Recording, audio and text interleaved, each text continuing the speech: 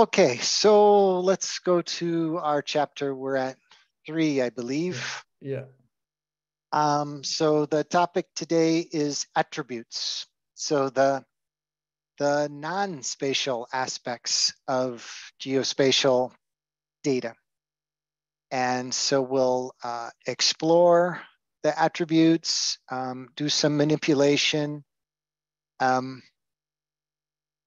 I made some notes just about how I pulled this down, put in some pictures, but um, essentially what the example they give in the book is of a bus stop. So um, any spatial entity, um, like a location, uh, the, the usefulness of that is its association with non-spatial information like uh, a number like uh, latitude, longitude, or the name of the bus stop. Uh, maybe the elevation above sea level, maybe the bus ridership arriving and departing by hour, or the cost to build the bus stop, or uh, some economic number like GDP or temperature seasonally. So our our say data frame will have a, a, a linked combination of um, a geospatial aspect and then a whole bunch of other data features, um, which, which they're calling attributes.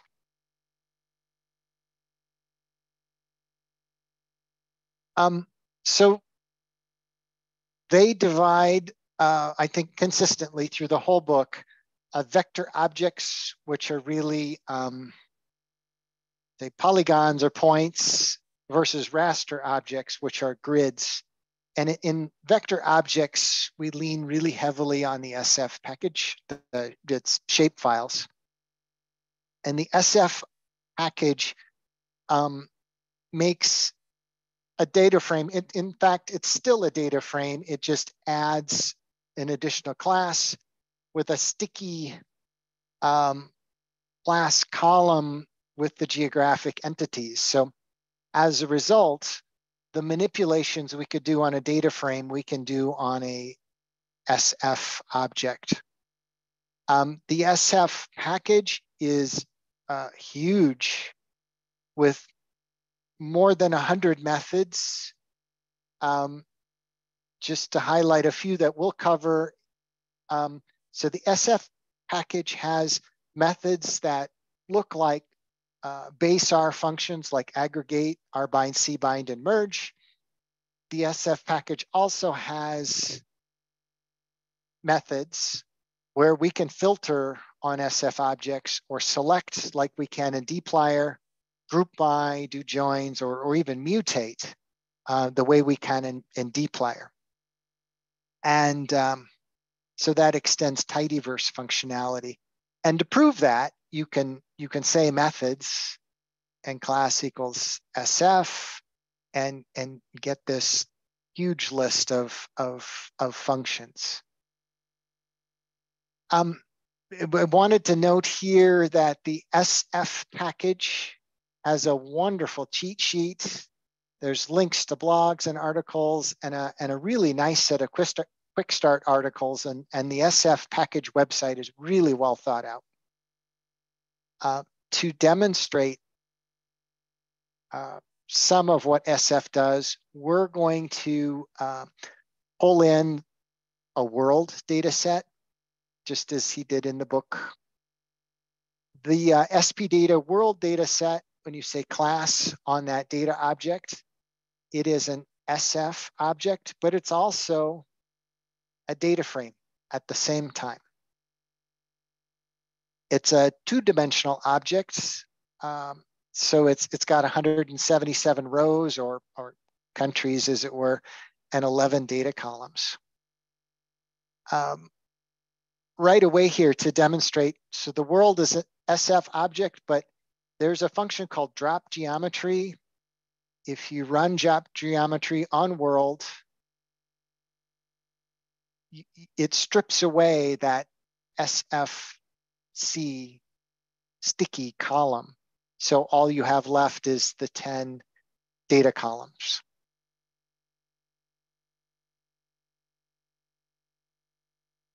All right, other functionality on SF objects or, or uh, vector objects, um, subsetting. So uh, we could look at uh, first a set of rows in base R. We, we just use the parentheses or the brackets, excuse me, brackets to grab the first six rows, for example. And to get world rows one through six, we will just print that to the to the console here to subset rows by position. Um, we could also subset columns by position in base R, and this grabs uh, ISO, name, long, and continent. And note the, um, so the, the three columns included um, will not strip away the sticky uh, SFC column. So that comes along for the ride, even though we've only picked these three columns. So there's actually four columns. We could also subset by rows and columns by position. So we get the first six rows, three columns, one through three, plus the sticky geometry column.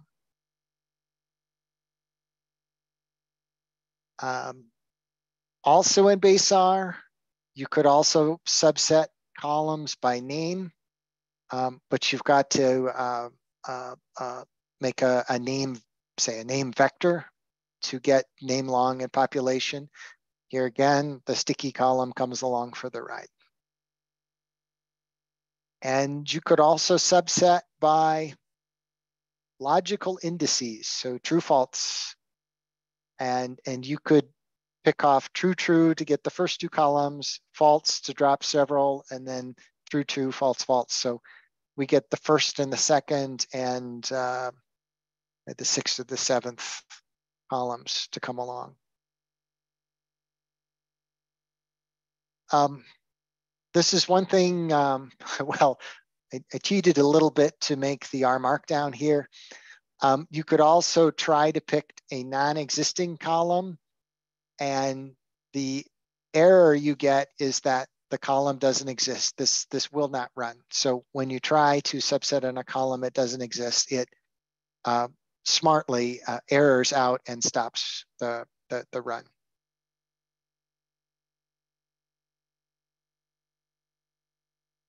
As we mentioned up above, we could also use a logical vector for subsetting. Um, this statement is illogical. So this is where um, in the world data set, those rows where area KM2 is under 10,000, um, in this vector of area KM2, um,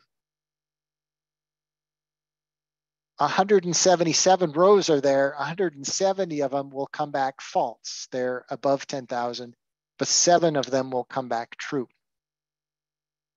as shown here. So this, this I small is 177 trues and falses. And that I small vector of logical statements can be put in the rows of the world and we could then get the list of what amounts to small countries. Another way of doing the pretty much the exact same thing is to use base R subset. Put the logical statement here, which gives a vector of true falses and the world um, data frame, and that will provide the subset back of the seven small countries.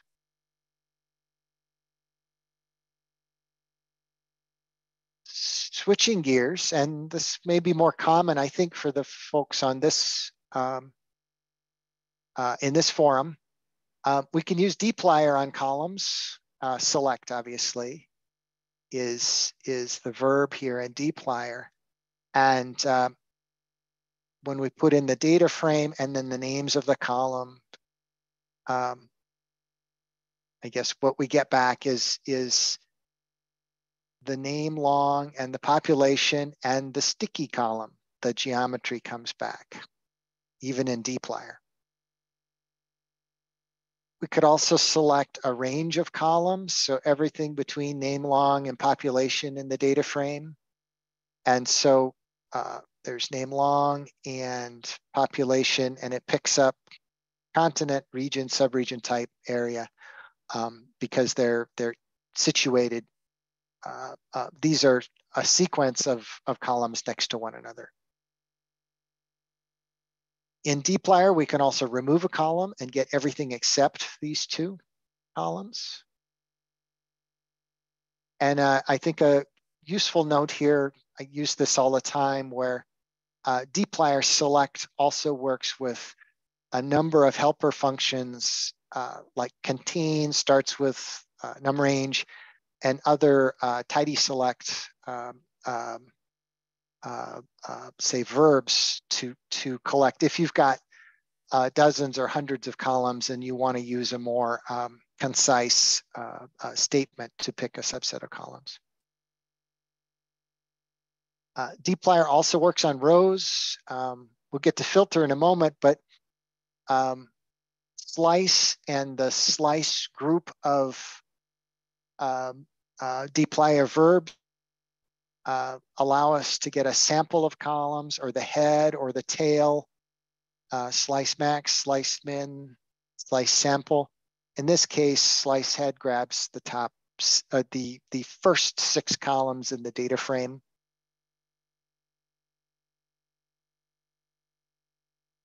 Filter, of course, uh, requires a statement uh, sometimes it has the double equals, sometimes it's greater than or less than. Um, but like we had shown in base R, this, this is the, the, say the small countries of the world using the dplyr filter statement. Um, besides the tidy select verbs, uh, another, um, I think, nice aspect of dplyr is allowing the use of the pipe. And at the moment, there's two pipes, uh, the Magrittr pipe and the base R pipe. Uh, maybe should ask, um, what's uh, what's the consensus here? Are are are folks using base R pipe or or the Magrittr pipe? What what do what do you all use? base R pipe when I'm three points uh, greater than four point one, I think, and yeah. and some it depends on what I'm doing, uh, and but yeah, I tend to try to use the the base r pipe. Okay. So it's fine using both, I guess. What I'm trying to avoid is using both in the same script, just for like because I'm not chaotic evil enough. Tony, which pipe do you use? I'm a greater one. Um, only recently learning this stuff, so the the base R coming back and being used is relatively new to me. So I haven't, uh, you know, ch- changed over yet. But I use the one with the, you know, the keyboard shortcut uh, in RStudio, yeah. which is set for Magrittr when you put the tidyverse on, right? Yeah, I I changed the default, but yeah, everybody. I mean, has the reasons. Derek, which pipe do you use? I've been switching over to the base R pipe because I just thought that was where the trend was going. But as with a lot of people here, whenever my students look up examples, it has the Magrittr pipe. Yeah, yeah. Uh, Oluwafemi, uh, which pipe do you use? May I use uh, the R pipe? Yeah. Okay. You've you've you've uh, you're on the new one. And Trevin, which pipe do you use? I've been switching over to the um, the base. Um, mm-hmm. I have uh, special font that I use that looks like a triangle. Yeah. Okay. Like okay. I I know of a few in the community who who still don't like pipes at all, and and so this is a, a little bit of style. There there are some advantages. Um, but I, I, I do think with people coming from SQL or Python, um, this sort of chaining, uh, you know, people adapt to this pretty readily. So uh, it's good, good, good discussion. Yeah. Um, um, um, yeah. Go ahead. I think it's depend of what you do. On quick analysis, I like them. You know, like when I was like, let's say unique something and I want to view, then I pipe into view, you know, uh, then it pop up like the kind of the spreadsheet or whatever. I like yeah. piping. Uh, I'm piping a lot into view or piping a lot into like uh, some stuff. When I'm working writing function, I tend to prefer like being slow, uh, just because like sometimes you are, yeah, it's easier to debug. I would say. I mean, it's not that difficult to debug, but uh, yes, I try to avoid pipe when I'm writing some let's say function. And when I'm doing a full data analysis and I just care about like uh, producing an output, um, I'm going all the way with pipe, I think Yeah. this is my use, but yeah. That's good, good discussion. Okay. Uh, and yeah, Derek, I agree. Like uh, even the placeholders, like uh, the underscore, I guess, is the the place the new pipe placeholders. This is not like plenty that does not work with it. You're right. Like so that there is a there is a nice new um, equivalent to uh, say a Python Lambda function that I'm that I've begun to use, and so I'm I'm easing into the the new base R pipe and uh, and the new functional language. Okay, good good discussion. All right, so we'll move on in vector objects yet to summarize or aggregation. Um, so when we group um, one thing we have to be careful of, there is a stats aggregate. Um, so there's a non-SF aggregate. And in many cases, these grouping functions can be done with a, a non-geospatial aware function. And if we aggregate, um, say, uh, population by continent and do a sum, um, what we get back is just population by continent.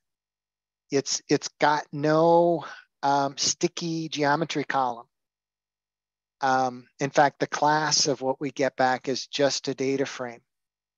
But um, SF does provide an aggregate in the package. It's, it's called aggregate.sf. So in these S3 objects, the SF package offers an aggregate method. Um, so this aggregate is the aggregate from the SF package. And um, it's, um, so when, when um, and in fact, I could have been more clear on here if I said SF dot dot or colon colon aggregate. Um, but it it's smart enough to pick this up based on the the um, the world data frame being an SF package.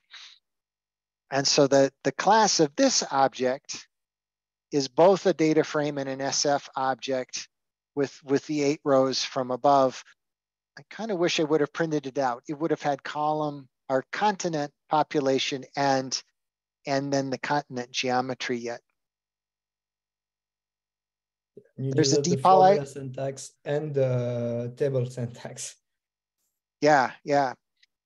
There is a dplyr equivalent, and and uh, in fact, there's a new dplyr 1.1, which um, the by verb has changed a little bit, but um, in dplyr we can we can take the world data frame, we can tell to to to add a, a say group by flag on continent to world, and then summarize by continent population for a sum.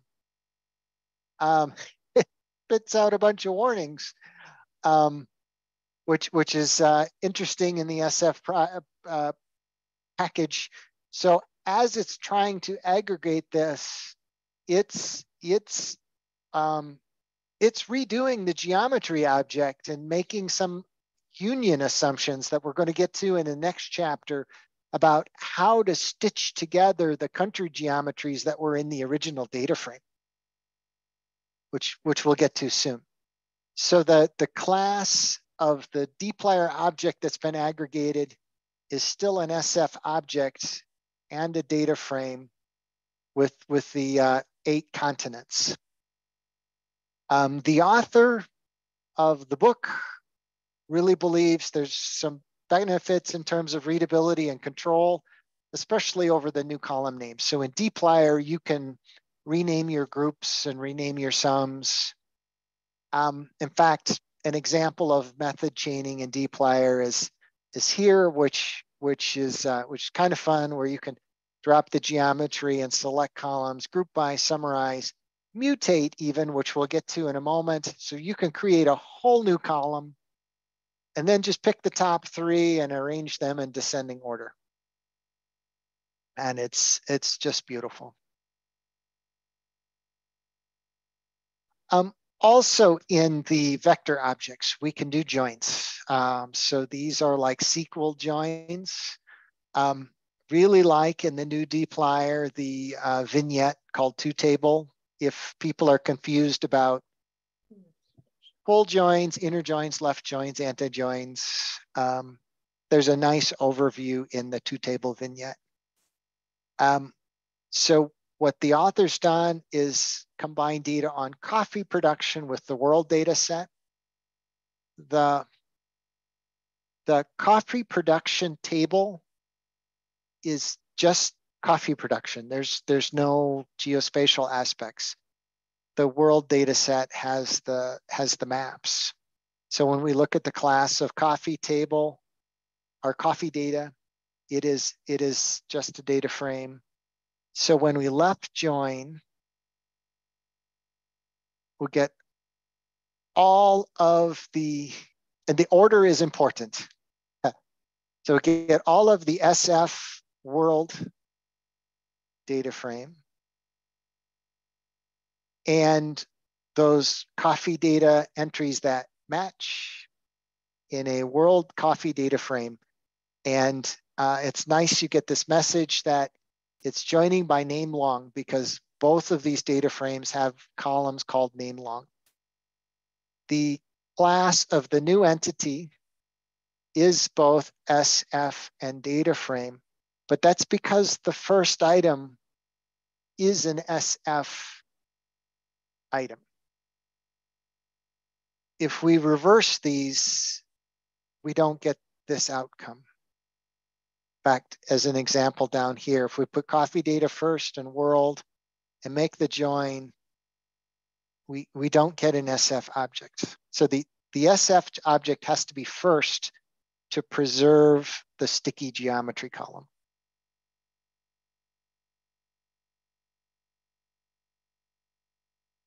Uh, then I went on a little bit of an adventure. Instead of using uh, base plot, I made a ggplot. So this this world coffee up above, this SF object, um, conveniently, um, if, if we take the world, world coffee SF object and tell it to fill by the coffee production column, so the colors by column, and, and make it geom SF, geom SF is smart enough to find the geometry column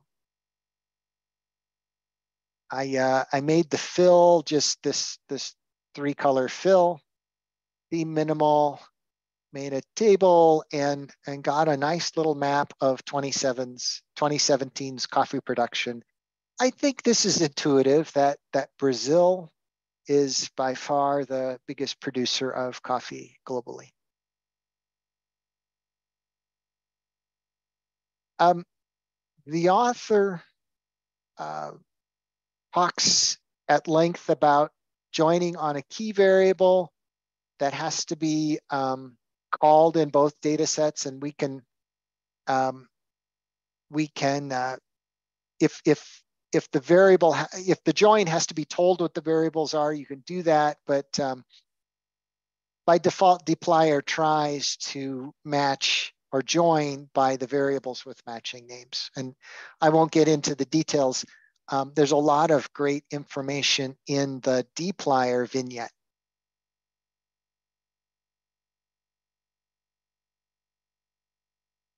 Um, okay, so the mutate. Um, we can create and remove attributes. So these, um, these pieces of data in the world. Um, you know, we can create a new one called population density by dividing population by the area and then and then select on those columns. And uh, um, here again we get the name long so the individual countries and the population density. And and I guess there's even some NAs where um, I'm guessing uh, either population or or area was missing but the polygon is sticky. It continues to go through even after the mutate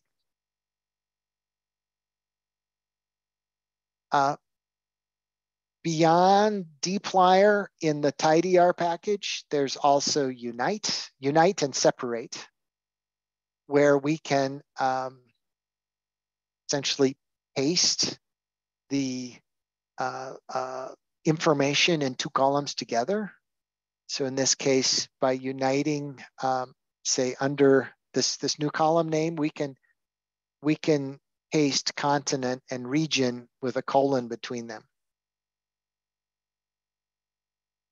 And then we can take the same data frame and say tidyr separates that uh, con region entity. We separate continent region and define the separator as a colon, and it splits those columns back apart with the sticky column still in place.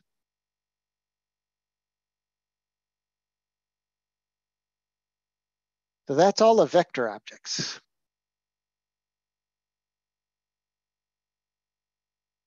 We're going to switch gears now. Um, and uh, um, where vector objects are, are like a pen plotter, they're drawing curves and lines and points. A raster or a, a TIFF is um, a grid. So satellite imagery or um, imagery taken with your um, Nikon camera um, or other imagery, you know, there's some compression or other things happening, but in its in its original form off of the um, off of the camera, there there are little um, sensing things on the CCD on the on the sensor that capture, say, light, and and maybe in different color layers, but uh, a a raster object is essentially a grid of of dots or tiles, and those tiles are numbers. And at at its very simplest, a raster object like like this thing is is a set of rows and columns with with values, in this case depicted as colors. And, and I've plotted a raster that is a contrived, um, you know, very simple raster object. Um, so, so these things, um, of course, have attribute data like like the the name of the color in the grid, um, but it's it's a much different sort of set of attributes than vector objects. Uh, raster objects can contain categorical values. Um, yeah. So here's maybe a soil profile where um, each square could either be clay, silt, or sand in, in terms of a, you know, a, a, a landform or a soil sample over a, a landscape.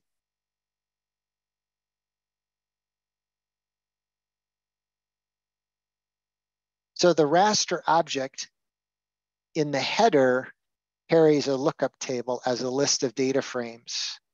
And if you say cats on the raster object in the raster package, you'll get the information on the lookup table. Um, subsetting a raster object is really picking the corner of the grid, the row or the column of the grid. And you could even uh, replace a value in that grid point. So here, I put a white square in position 3, 3.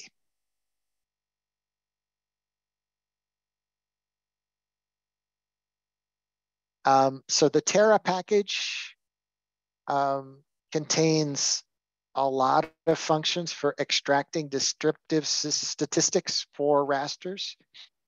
If you've got satellite imagery and want cloud cover or other things, there's the, the math is, is executed through Terra. Summary operations like standard deviation or other summary statistics can be calculated with global. And, and there's also a, a freq function that'll give you a frequency table of how often those categorical values appear in the frame that you're looking at. So as an example, here's a summary of, of those raster squares. Here's uh, a global view of standard deviation of the raster squares and a frequency table of the different values that were in that rectangle up above that we created. So raster value statistics can be visualized in a whole bunch of ways. Um, this is base-R functionality, but uh, there's we could also use ggplot. Uh, I didn't have the time, but we could look at a box plot of all the tiles in that rectangle um, to to show the, the box plot of the continuous values or uh, uh, density plot or, or uh, histogram here at the frequency plot with the hist.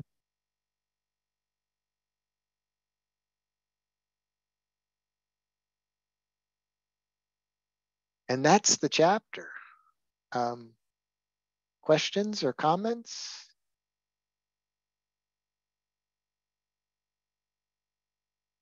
Nice job, Jim. Great work.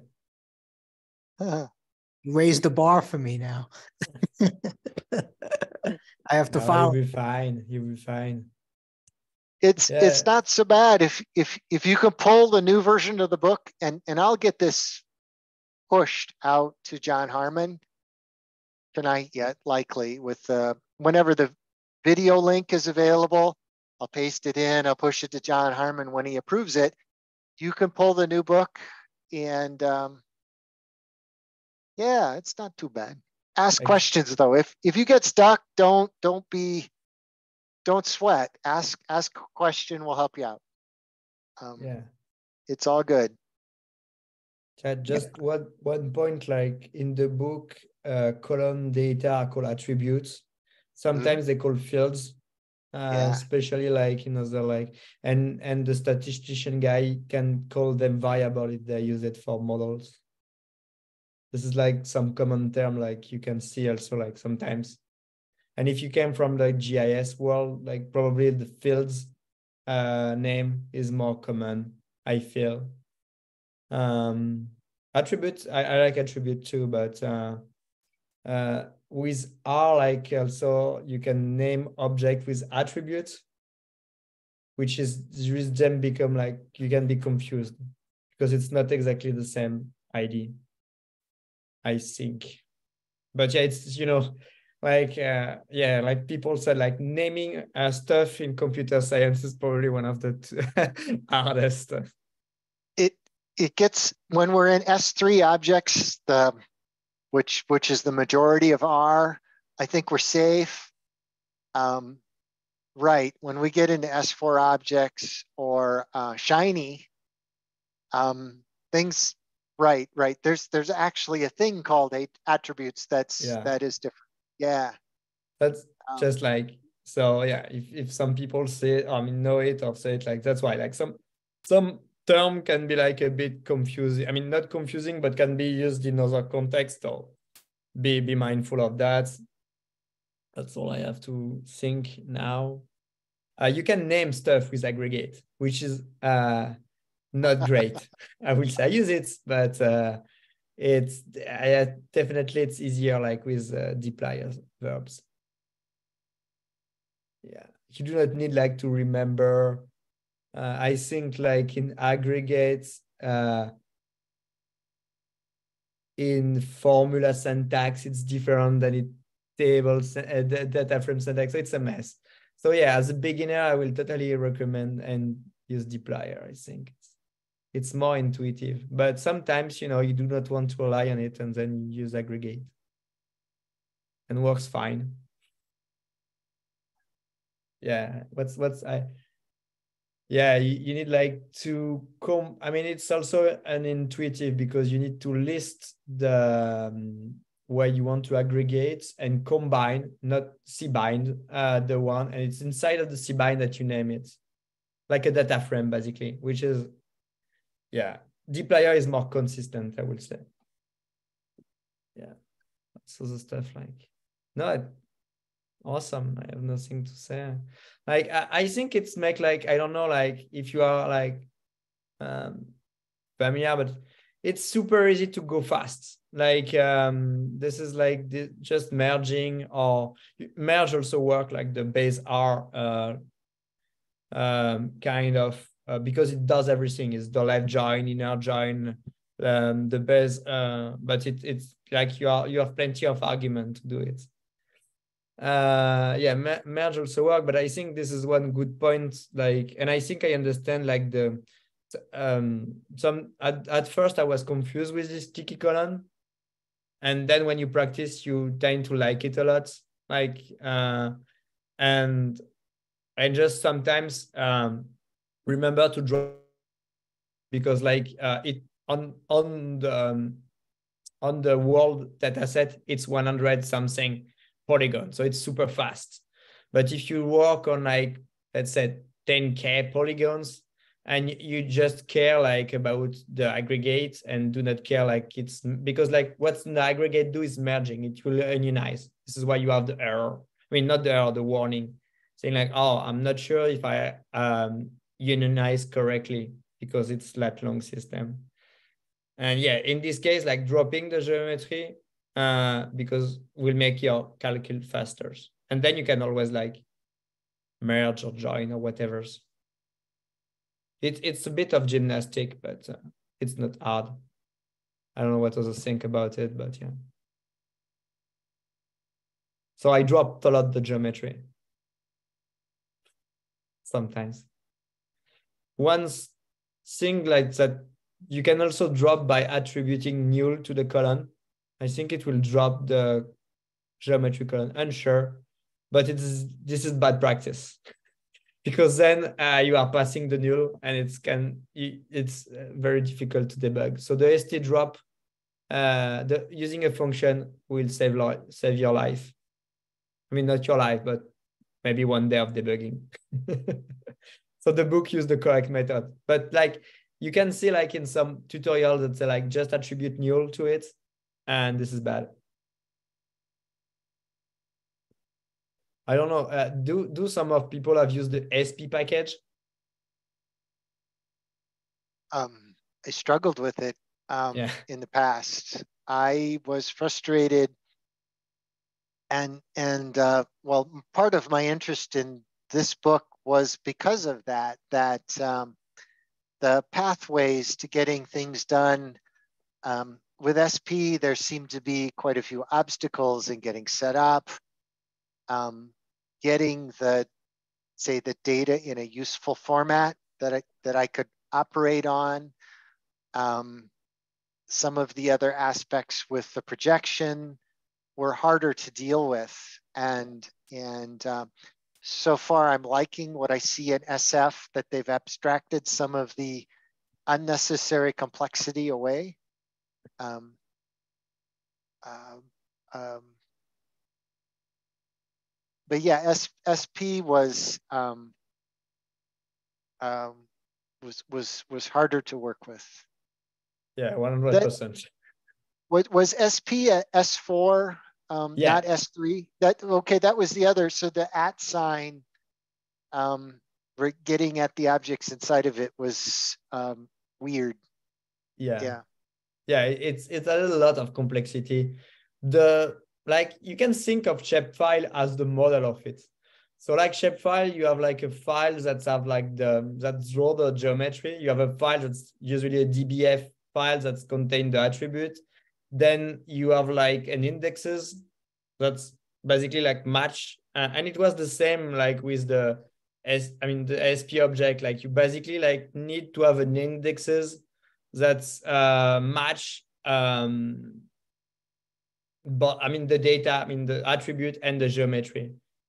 I mean it make it sense at time, I guess, because um, and also it have other attribute like the bounding box, the project uh, parse string, etc., etc.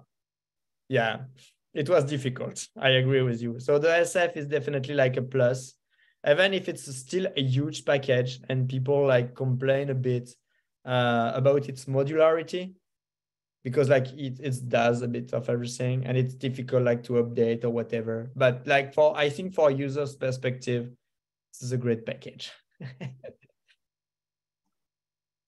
but yeah you know like this is also because like mm, so the sticky column is a list column which right. is recent in the r history it did yep. not existed before like i think like seven or eight years ago that's why like uh, inside of the data um, that I mean you could always have a data frame that's uh, that can contain list, but it wasn't tidy. And I think like at one point I'd let think it make it sense to have like the tidy with a list. We will see that on the chapter. So Tony will present like the how do you represent like a spatial object into like this sticky column. Uh, yeah, but SP is still used sadly uh, mostly uh, if you are dealing with statistics.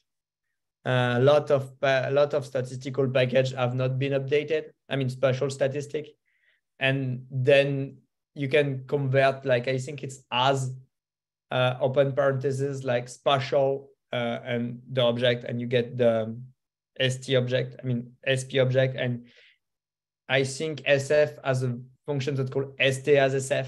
That's identify it and convert it. So do not be afraid if you um, miss it. But yeah, there's still quite a lot like uh, of people that have like I don't know found a tutorial on SP and yeah get lost.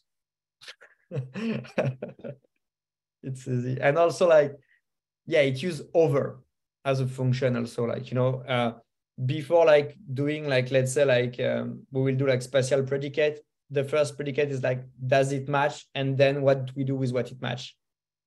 So it's it's kind of like separate every task, which, uh, as you said, like SF make, uh, it's an abstraction useful for users, I think. But yeah, uh, that's it.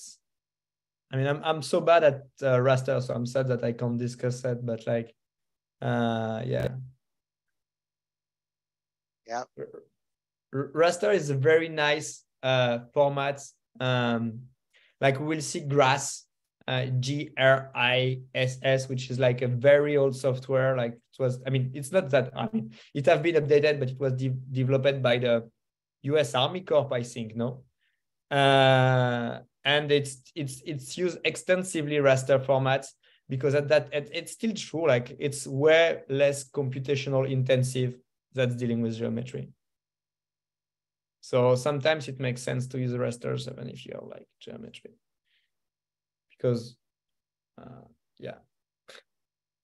I'm, I'm looking forward to those chapters. Yeah, it will be good chapters. Grass is a super nice. Uh, I think like, uh, yeah, I'm sad that it did not win uh, the, uh, the let's say like, uh, it was less user friendly like uh, S3 but uh, it definitely that it's uh, it has some inter it does some interesting stuff.